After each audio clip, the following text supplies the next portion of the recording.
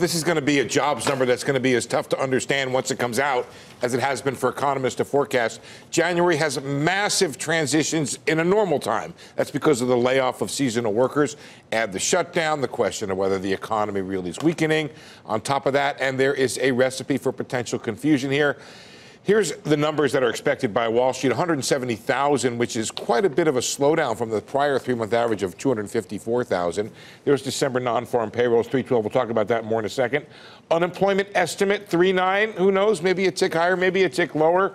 Average hourly wages are estimated to come in pretty strong at 0.3%. ADP was strong above the consensus, but below its month before number. Let's take a look at some of the factors that could influence this report here. The top of the list has to be shutdowns. Government workers will be counted as employed. We don't know what's happened to the private contractors. Some of them may have some some layoffs are not there. Also, maybe some companies needed permits for that they couldn't do some business. It was a, a strong December. Are we going to get some payback from that? Actually, believe it or not, folks, the reference week, which is the week of the 12th, had warmer than normal weather. And then, is the economy slowing? Is the economy not slowing? I know the market was convinced last month that it was. This month, it seems a little less convinced that it is.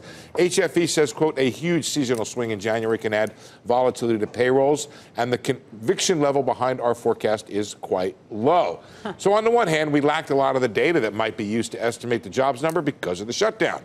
But the reports we've had have been mostly strong. ADP, jobless claims, NFIB, all of this excludes the bigger debate with such a low unemployment rate. Are there enough workers out there to fill the jobs we have? And I brought along a chart, guys. I want you to see why do we seasonally adjust these numbers? And this is a great month to illustrate it. Well, that's one thing. Okay, this is what the, the, orange line is what the jobs number looked like without seasonally adjusting it. Huh. See those swings there? Three million up, three million down, and then the white line is the number that it looks like the month-to-month change. Yeah, so, so it's a good idea to seasonally adjust. There you hey, go. You know what? This number just became a lot less important because the Fed's on hold anyway.